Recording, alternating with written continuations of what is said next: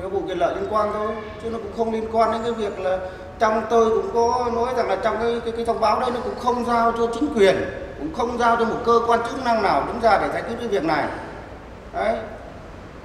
Thì thiết nghĩ của tôi tôi báo cái việc của họ đấy tôi bất ngờ. Bất ngờ sau khi là sau khi sau cuộc họp đấy thì để có giao cái cái cái, cái văn bản như thế. Thì trong cuộc họp tôi có đề nghị là bây giờ cái việc này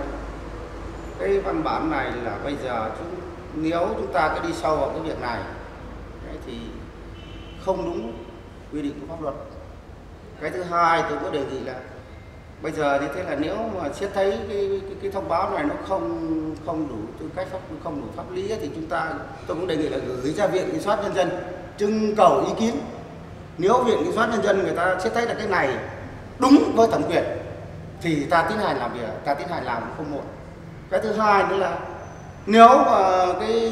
viện kiểm sát nhân dân trưng cầu dân ý người ta bảo là cái này không thuộc thẩm quyền thì ta làm văn làm làm văn bản ra